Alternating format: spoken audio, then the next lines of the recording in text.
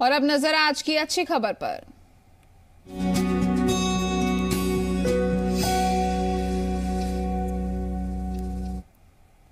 मिट्टी की खुशबू और उससे लगाव कुछ ऐसा है कि वो हर किसी को अपनी तरफ़ खींच लाता है। पंजाब के फाजिलका से सटे राजस्थान के श्रीगंगानगर में कुछ ऐसी ही तस्वीर नज़र आई।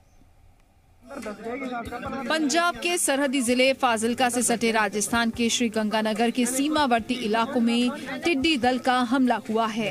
किसानों की फ़सलों पर हुए टिड्डी दल के हमले का निरीक्षण करने ज़िले के डीसी साहब पहुँचे थे। तो जनाब, खेतों में किसानों को काम करता देख खुद को रोक नहीं पाए।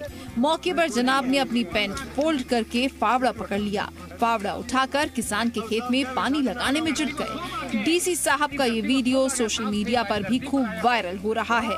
बाड़मेर में जिला कलेक्टर रह चुके श्री नकाते। वर्तमान में श्री गंगानगर के जिला कलेक्टर हैं। अधिकारी अगर किसानों के बीच पहुंचकर उनकी मुश्किलों और जरूरतों का हल जानने की कोशिश करें तो खेती को फ़ायदे के सौदे में तब्दील होने से कोई नहीं रोक सकता। फाजिलका से सुनील नागपाल के साथ bureau report, Zee Media. pag manalagari ka pinipin.